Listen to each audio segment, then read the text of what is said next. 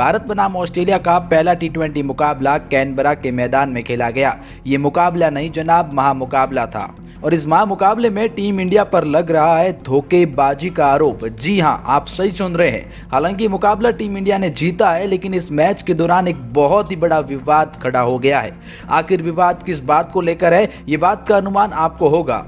रविंद्र जडेजा और युजवेंद्र चहल को लेकर एक बहुत ही बड़ा विवाद हुआ है और इस विवाद को लेकर हर कोई हैरान है। अगर आप भी सुनेंगे तो आप भी हैरान रह जाएँगे और आप ये जानेंगे कि आखिर इस धोखेबाजी के आरोप में कितनी सच्चाई है और क्या है पूरा मामला। लेकिन वीडियो में आगे बढ़ने से पहले अगर आप भी भारत की जीत से खुश है तो वीडियो को कर दो, दिल से लाइक और चैनल को कर दो, अभी के अभी सब्सक्राइब। आपकी फेवरेट टीम और फेवरेट प्लेयर का नाम नीचे कॉमेंट सेक्शन में ज़रूर बताना। अब दरअसल दोस्तों, पूरा मामला क्या है? मामला रविंद्र जडेजा और युजवेंद्र चहल को लेकर है।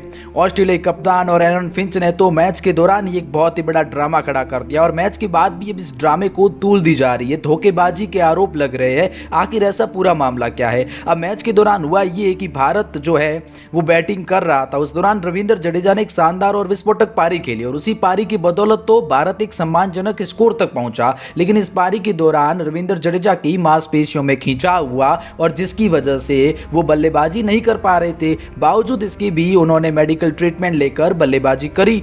लेकिन जब जाकर आखिर में कुछ बॉल पर उनके हेलमेट पर लग जाती है, हेलमेट पर बॉल लगने के बावजूद भी कोई भी मेडिकल टीम उनके पास नहीं आई नहीं उन्होंने कुछ जाँच करी है। उसके बावजूद भी रविंद्र जडेजा खेलते रहे, लेकिन जब वो पारी खत्म करते हैं और फिर जाते हैं और फिर वापस बॉलिंग के टाइम रविंद्र जडेजा मैदान पे आते ही नहीं है और उनकी जगह युजवेंद्र चहल को लाया जाता है। अब सवाल टीम इंडिया के लिए ये था कि अगर रविंद्र जडेजा बॉलिंग नहीं करा पा रहे थे तो उनकी जगह किन को कराए? क्योंकि पांचवा बॉलर का विकल्प तो वही है। और अगर वो बॉलिंग नहीं कराएँगे तो टीम इंडिया के लिए मुश्किलें खड़ी होंगी।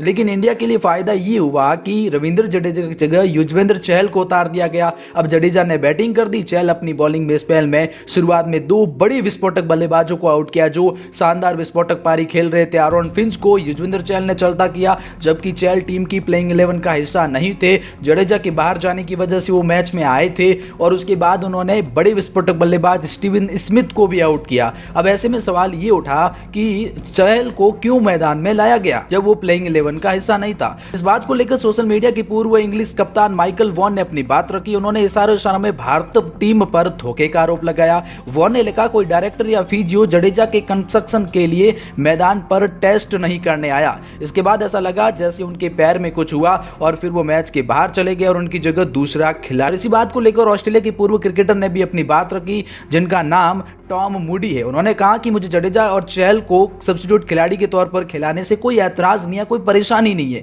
मुझे परेशानी इस बात से है कि जब जडेजा को हेलमेट पर चोट लगी तो कोई डायरेक्टर या फीजियो क्यों नहीं आया? और मुझे लगता है कि आजकल प्रोटोकॉल के तहत ये आते हैं खिलाड़ी। तो दोस्तों, ये सहमत तो है कि ये आप चहल को खिला सकते हैं, कोई प्रॉब्लम नहीं है। लेकिन जब जडेजा को चोट लगी तो फिर उनको कोई टेस्ट करने के लिए क्यों नहीं आया? ये सवाल बनाया। और दूसरा ऑलराउंडर की जगह ऑलराउंडर क्योंकि अब मेरे हिसाब से आप ऐसा सोचते हैं तो देखो, अगर आप जडेजा को प्लेइंग इलेवन का हिस्सा रखते हैं तो चहल ने जैसी गेंदबाजी करी, वो जडेजा कर नहीं पाते शायद। अब ऐसा नहीं है कि नामुमकिन है, जडेजा कर ही नहीं पाते, लेकिन थोड़ा डिफ़िकल्ट रहता।